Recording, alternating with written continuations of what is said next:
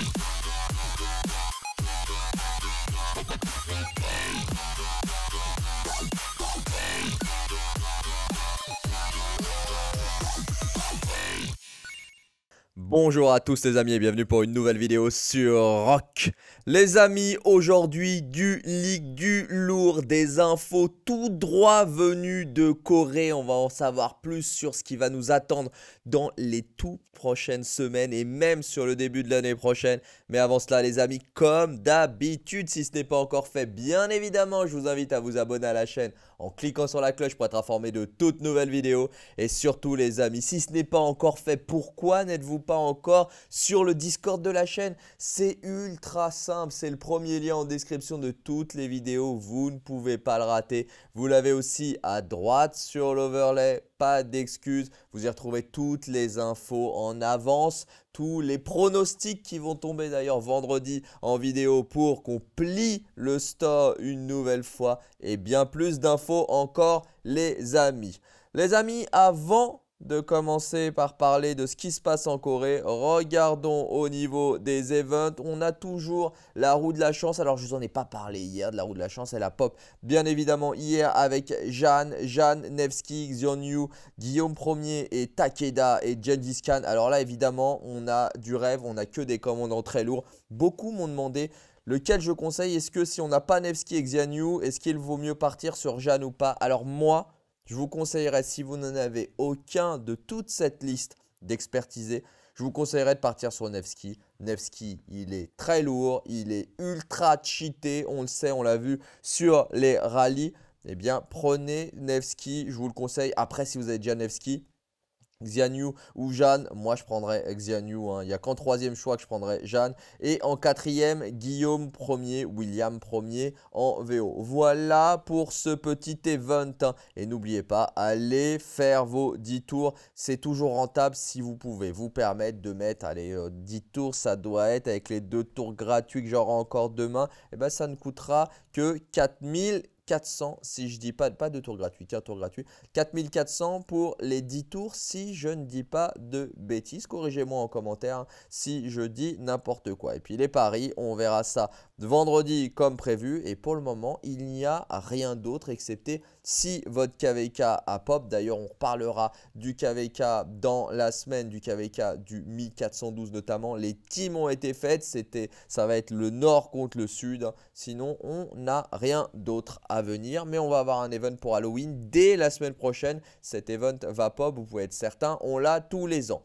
Partons du côté de la Corée à présent et je vais vous montrer une vidéo qui euh, est relative à ce que je vous ai montré hier. Hein. Ils ont fait un event anniversaire en Corée et ils ont annoncé pas mal de choses. Il y a eu des questions et des réponses. Alors je vais vous mettre la vidéo deux fois, ça m'évitera de vous faire des coupures et de vous l'arrêter. Au moins on peut revenir sur les choses importantes. Donc vous le voyez, hein, ils ont reçu pas mal de joueurs autour du dîner dont je vous ai montré les photos hier. Et il y a eu des moments de questions-réponses et Lilith a apporté pas mal de réponses et pas mal de grosses nouveautés, notamment au niveau du futur KVK.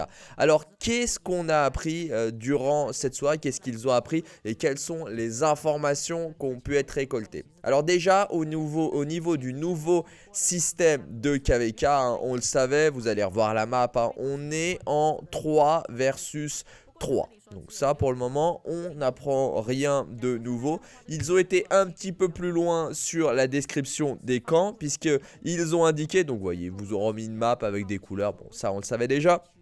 Ils nous ont indiqué, ils ont indiqué que le système sera identique au niveau, ils n'ont pas dit identique, hein, que ce sera un système comme, voilà ce qui est précisé. Hein. faut bien se méfier avec Lilith parce que bien que Kevin soit totalement éclaté parfois dans les traductions, ils utilisent parfois les bons termes, surtout quand on est en VO. Ils ont dit que ça serait un système équivalent ou comme et pas identique hein, au Light and Darkness. Alors est-ce qu'ils n'ont pas dit identique parce qu'on n'est pas en 4 versus 4 mais en 3 versus 3 C'est tout à fait possible. En tout cas, c'est un système similaire. Ils ont dit similaire et donc au niveau du matchmaking, ça serait aussi euh, pareil. Donc on va pouvoir sélectionner, puisque dans le Light and Darkness, hein, on peut négocier, faire des propositions avec ces équipes de celles qui sont du même range, du même niveau que nous.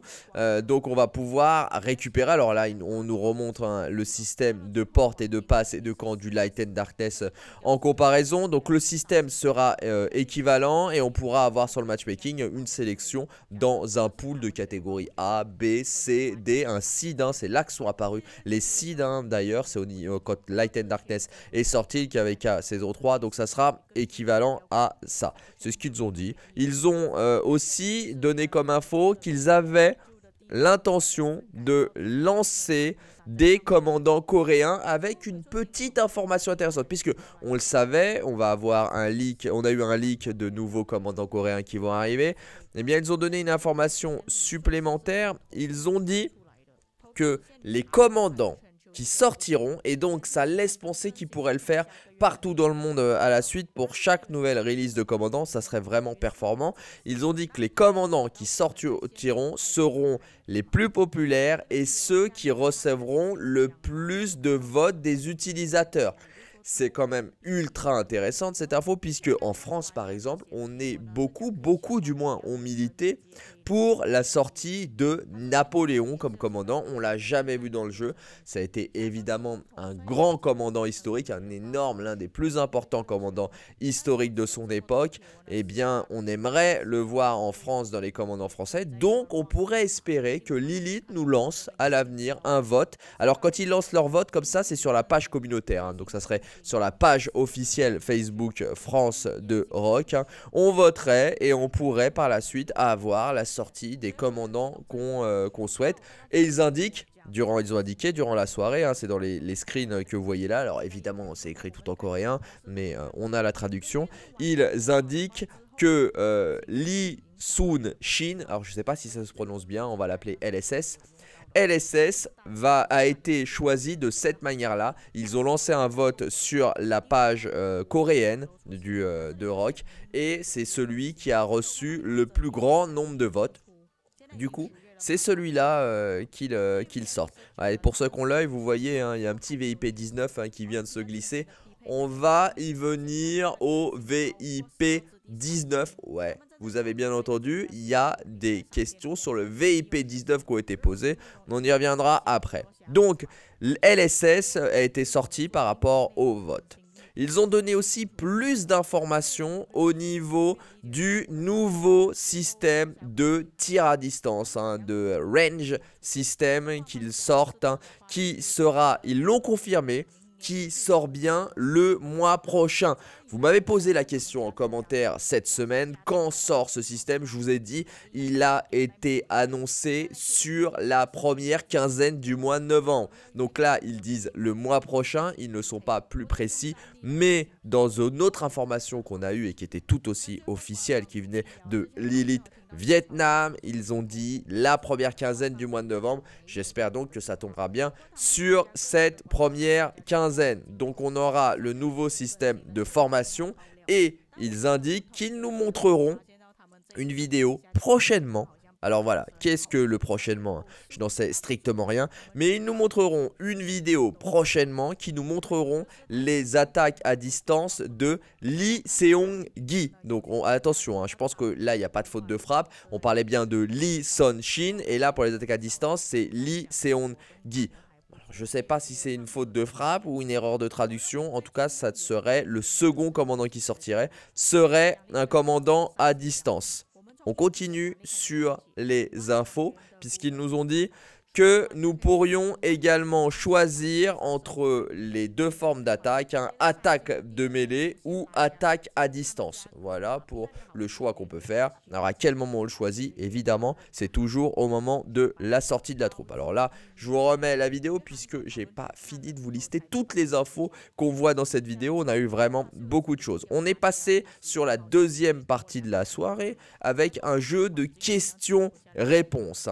Et donc les joueurs ont posé questions sur les formations et Lilith nous a indiqué qu'il y aura quatre types de formations euh, différents. Euh, donc euh, short range, donc à courte distance, wedge formation. Alors là, je ne sais pas comment le traduire. en tout cas, ça a l'air d'être en fonction de la distance et longue distance et inner march aussi sélection. Bref, quatre types de formations, hein, plus ou moins combat de mêlée, rapproché ou pas.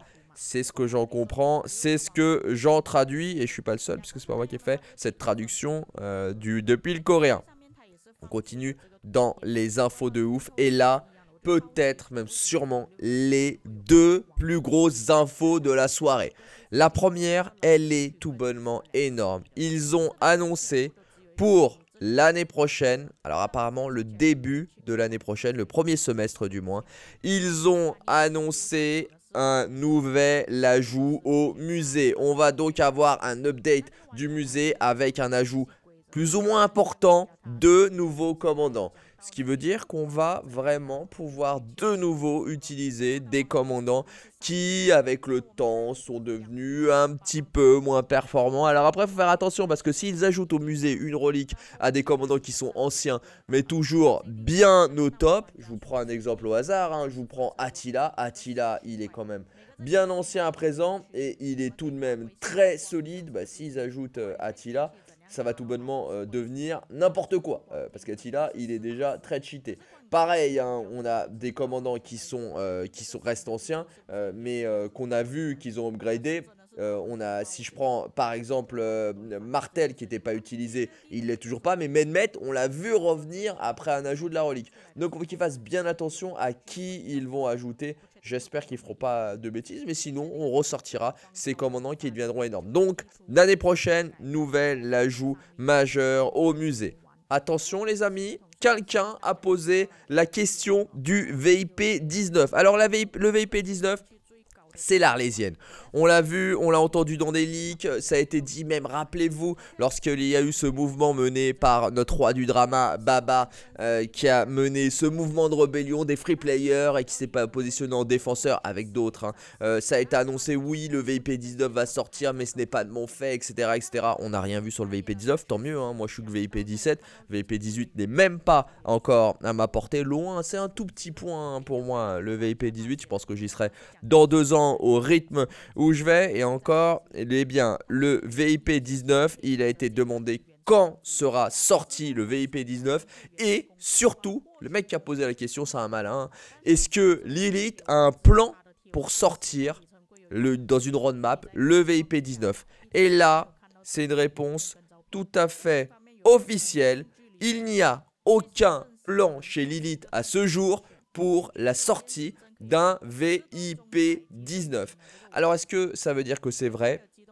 Bon, on peut estimer que c'est vrai, on peut les croire. Euh, c'est euh, Lilith en général, ils utilisent des feintes, mais ils ne mentent jamais directement comme ça. C'est qu'au moment où ils ont donné la réponse, c'est qu'ils n'avaient pas ça dans les cartons. C'est pas pour ça que ça va pas sortir peut-être l'année prochaine ou peut-être plus tard dans le jeu. Forcément, ça arrivera bien un jour le VIP 19, mais cette information est fiable est donné à la communauté coréenne qui est euh, la communauté l'une des plus grands spenders avec nos amis chinois. Donc eux pour le coup il y en a plein qui pourraient passer en VIP 19. Ils leur auraient dit, hein, ça les aurait pas offusqués, hein, à la soirée ils ont, invité, ils ont invité que des mecs qui mettent des, à mon avis des centaines de milliers d'euros dans le jeu, voire plus, voire des millions pour certains. Donc pensez bien que les mecs ils ont du stock de, euh, de points de VIP et qui passeraient VIP 19 immédiatement. Donc rien d'officiel pour le VIP 19. Aucun plan, enfin si l'info est officielle, aucun plan de Lilith. Hein, c'est pas dans leur roadmap de le sortir. Ils ont demandé aussi le, fait de pouvoir sélectionner 5 unités en même temps. Alors là, j'ai pas compris parce qu'il suffit de double-cliquer sur une des unités et ça sélectionne toutes. Ils disent que c'est difficile.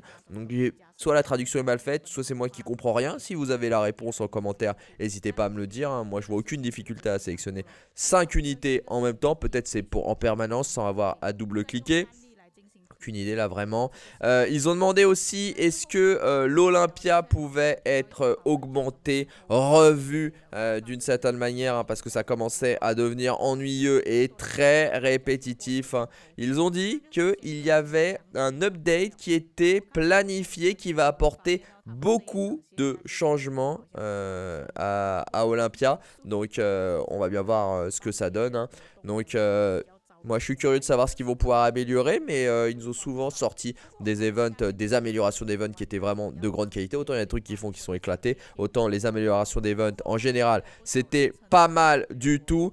Euh, ils ont fini aussi par dire que le Kingdom Shop, le Lost Kingdom Shop, qui était un petit peu éclaté, il allait falloir le revoir. Ils ont posé des questions, ils ont dit qu'ils allaient ajouter des rewards, plusieurs rewards, hein, donc euh, à l'avenir. Ils n'ont pas donné de délai, mais euh, ça avait l'air d'être tourné de manière assez proche, qu'on va avoir un update. Je pense qu'on l'aura avec la sortie du nouveau système de KVK qui doit encore une fois sortir normalement également le mois prochain. Et pour finir, euh, il y a eu des questions sur le Sunset Canyon. Est-ce qu'il va avoir des zones qu'ils avaient besoin, que les joueurs avaient besoin de nouvelles events comme le Sunset et Canyon? Ils ont dit qu'ils allaient procéder à d'autres, à un ajout d'un event type Sunset Canyon et aussi un ajout euh, d'event euh, type battle et ça se ferait en équipe. Donc un event d'ajout de battle et de, de, cohésion d'équipe, enfin de, quelque chose qu'on fait en équipe. Donc ça c'est dans les cartons et c'est écrit que ça devrait arriver également prochainement sans plus de dates. Pour finir sur la vidéo coréenne, vous le voyez, hein, je vous montre des petits cadeaux apparemment si j'ai bien tout compris. Hein. Il y a des petits, euh, des petits gifts euh, qui étaient à gagner durant la soirée, des gifts euh, qui ont été donnés, vous le voyez, un téléphone pliable apparemment, des écouteurs. Bref, ils ont donné des petits, enfin, il y a eu un tirage au sort apparemment pour gagner, des, donner des, des, récompenses à des personnes qui sont millionnaires déjà, du coup, multimillionnaires, et bien au-delà pour certains. Du coup, ils avaient tous sûrement bien mieux sur eux que les rewards. C'est comme l'histoire des iPad Pro hein, qu'on donne euh, au, euh, au 1V alors que les mecs sont déjà refaits de ouf. Bref, mais bon, ils pourront le donner euh, à leur famille, ça fera un cadeau de Noël sous le sapin. Bref, donc voilà, il y a sûrement eu des rewards. Là, je vous ai dit, cette partie, je l'ai pas bien compris. Euh, puis j'ai pas la traduction de cette partie. Donc, euh, mais à mon avis, c'était, euh, il y a eu des tirages au sort et des cadeaux qui ont été donnés aux joueurs présents. Et on le voit, il y avait une carton d'invitation pour Flower of Mimi, pour Mimi, pour ceux qui la connaissent pas, hein, une joueuse très emblématique de rock depuis très longtemps. Et puis le repas qui était, que je vous ai montré hier, hein, qui était, qui, avait l'air pas mal du tout et au niveau. Pour finir, on revient donc sur le nouveau système de KVK qui sort donc encore une fois, normalement, tout ça sort le mois prochain. Donc euh, les nouveaux commandants, le nouveau système de KVK, c'était les dates annoncées par Lilith. Et c'est là qu'on aura peut-être un upgrade du shop, je le redis. Pour le muséum, n'attendez rien le mois prochain. Hein. Le muséum, c'est l'année prochaine, au semestre 1, normalement, qu'on aura cet upgrade majeur. Mais Lilith a quand même avancé durant tout ce leak, toutes ces infos, qu'on allait avoir des upgrades majeurs qui allaient arriver là sur la fin de l'année, euh, notamment du shop. J'espère bien que le shop va bien être upgradé avec l'ajout de ce système de KVK. Moi, je suis impatient de participer à ce KVK parce que, euh, parce que ça a l'air sympa du 3 contre 3 en team déjà défini et négocié où la diplo est fait en avance. C'est toujours du très très lourd. Voilà, écoutez les amis, c'est déjà pas mal pour toutes ces infos qui nous viennent de Corée. Si vous en avez d'autres, vous, que j'aurais raté, n'hésitez pas à me mettre en commentaire. Mais je pense que là, on est plutôt complet à chaque fois. C'est que du bonheur en info. Lilith, lorsqu'ils font euh, des, euh, des events comme ça, on a toujours un très très lourd retour. Ça va être très bon dès le mois prochain. Vivement le mois de novembre. On finit les amis avec, comme d'habitude vous me direz, hein, une petite ouverture de clé.